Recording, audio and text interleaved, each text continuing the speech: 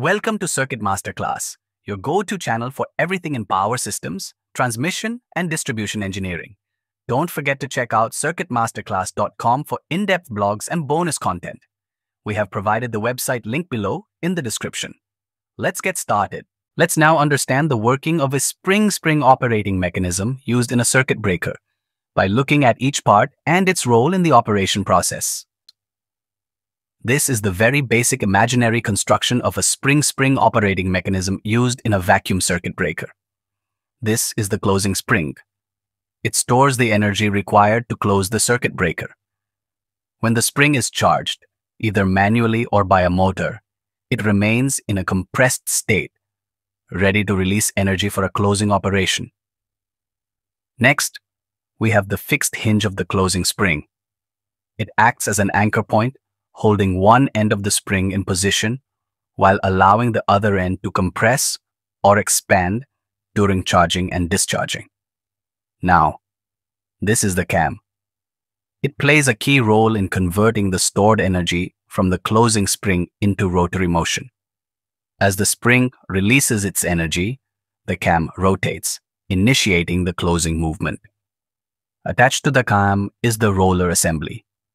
This helps transfer motion smoothly by reducing friction. As the cam turns, the roller moves along its surface and drives the mechanism forward. Here is the hook. It functions as a mechanical latch. It holds the closing spring in its charged position. When a close command is given, this hook releases the spring, allowing it to act. This is the fixed hinge of the opening spring. Just like with the closing spring, this hinge holds one end of the opening spring in place. Now this is the opening spring. It's responsible for opening the breaker. Once the trip command is received, the opening spring releases its energy, pulling the moving contact away and interrupting the circuit. This is the vacuum interrupter, the heart of the breaker. Better to say, it is the cross-sectional view of a VI or vacuum interrupter. It contains the moving and fixed contacts, where the actual arc interruption takes place. When the contacts separate, the arc is formed, but it's quickly extinguished in the vacuum environment. Right here, we see the bellow. It's a flexible, sealed component connected to the moving contact. The bellow allows the contact to move while maintaining the vacuum inside the interrupter. This is the fixed contact, which stays stationary inside the vacuum interrupter. During normal operation, the moving contact touches this to complete the circuit. We now move to the lever. The lever connects the cam and the operating mechanism to the insulating rod. It ensures that mechanical movement from the spring gets properly directed to the contact assembly. Finally, this is the insulating rod. It transmits the motion from the lever to the moving contact. Since it's made of insulating material, it ensures that mechanical motion is safely delivered without electrical conduction.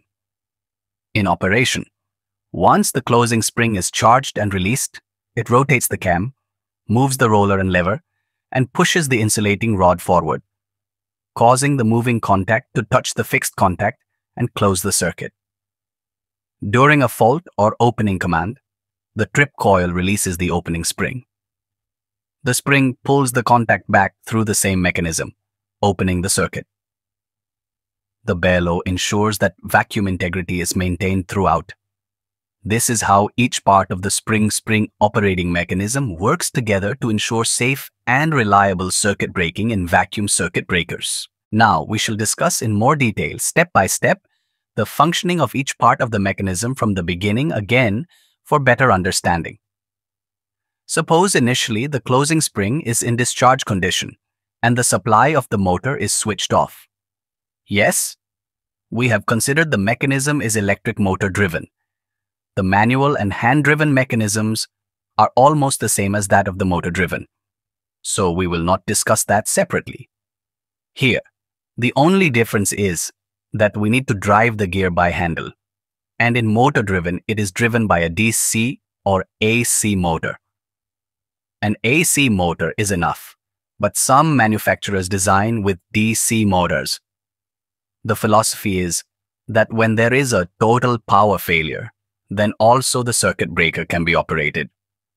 Whatever the condition of the circuit breaker may be, whether it is in an open or closed condition, the spring is uncharged, meaning it is in a relaxed, expanded condition as soon as we switch on the motor supply. The motor starts running, and with the gear lever arrangement, the closing spring gets compressed. The hook part of the mechanism mechanically latches or holds the closing spring in the charged or compressed position. Here, you should remember that the charging of the closing spring is not related to the open or closed condition of the circuit breaker. Here, the breaker is now in open condition. Now, if we apply the close command to the breaker, the plunger of the closing coil makes the hook removes the latch of the closing spring. Therefore, the closing spring expands. It rotates the cam, moves the roller and one side of the lever downward. Therefore, the other side after the middle hinge of the lever goes up, and thereby it pushes the insulating rod upward, causing the moving contact to touch the fixed contact and close the circuit. This portion of the lever goes down, and hence this portion of the lever goes up to close the circuit breaker. During the expansion of the closing spring, the opening spring is deformed, meaning it is forcefully expanded. In other words, the stored potential energy of a closing spring is partly used for closing operations. Rest of the potential energy of the closing spring is used to expand the opening spring. This opening spring is sometimes called a trip spring. As the spring is discharged during the closing operation, after completion of the closing operation, the spring begins to recharge. But remember the charging of this closing spring does not have any relation with the tripping or opening operation of the breaker. The breaker trips by means of trip spring only. Whatever may be the condition of closing spring, whether it is charged or in uncharged condition, since the trip spring is expanded during closing operation, the breaker has become ready to trip or open. As it is already told, during a fault or opening command, the trip coil releases the opening spring.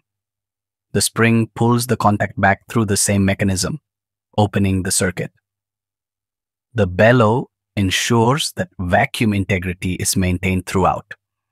The main advantage of this spring-spring mechanism is that it can perform an open-close-open operation if the breaker is in closed condition when the motor supply fails. It can also perform one close and the next open operation if the motor supply fails when the breaker is in the open condition. There are many advantages to a spring-spring mechanism. The spring-spring operating mechanism is reliable, fast, and easy to maintain. It works using mechanical springs, so it doesn't need any oil or air systems, which means fewer chances of failure and no leaks. It is compact in size, uses very little energy, and can operate quickly during a fault. Even if power is lost, the stored spring energy allows the breaker to trip safely, making it a very dependable system. Despite its many benefits, the spring-spring mechanism also has some drawbacks. First, the springs and moving parts can wear out over time and may need replacement after many operations. Second, the energy stored in the spring needs to be recharged after every operation either manually or using a motor, which might cause a small delay for reclosing the circuit breaker.